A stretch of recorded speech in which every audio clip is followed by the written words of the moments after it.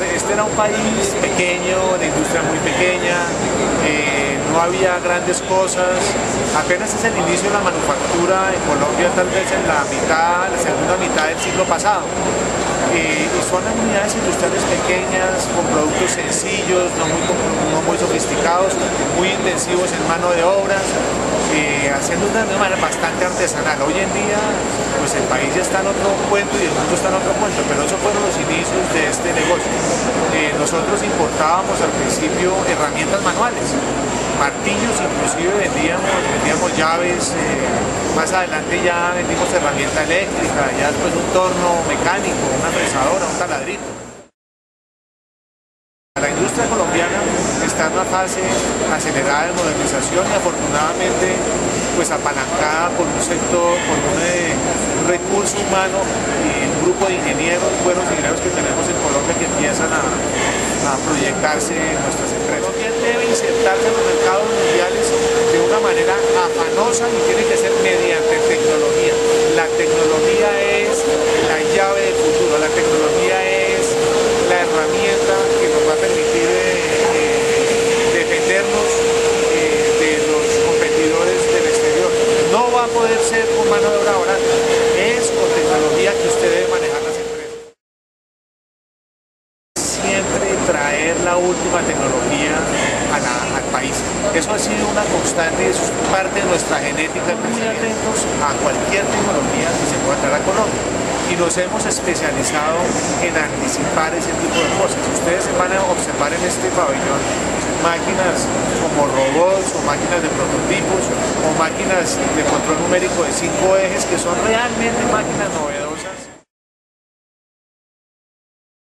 Nosotros tenemos una división de plásticos y máquinas y en esa división nosotros tenemos personas que conocen todas las tecnologías del plástico, la tecnología de inyección.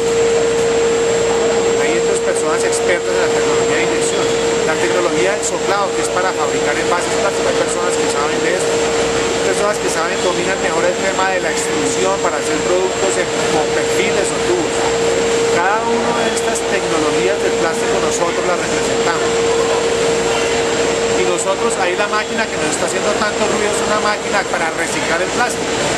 Cogemos un, foil de plástico y lo metemos por un molino, lo en trocitos pequeños, después lo calentamos, lo plastificamos nuevamente y salen otras pepitas de plástico reciclado para volver a incorporar a, la, manufactura. Pero entonces todas esas tecnologías del plástico, nosotros no estamos solamente en la inyección o solamente en el soplado, solamente en la extrusión, cubrimos todas las tecnologías del plástico.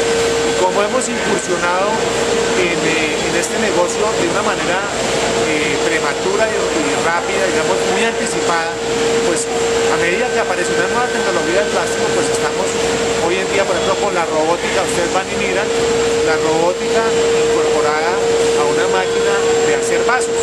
Estos vasos son inyectados en una máquina nuestra y fue colocada de una manera, de una manera automática por un robot en el molde y después se inyectó encima de, la etiqueta el vaso, quedó el vaso completamente terminado para que lo use bien.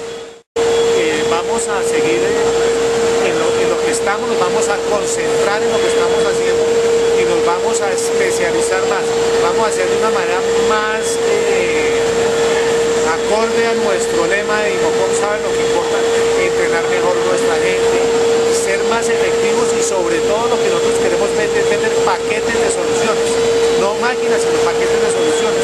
Ir a donde el señor fabrica suelas de zapatos y ayudárselas desde el diseño de la suela, ayudársela a inyectar, ayudarle a conseguir cómo hacer el molde,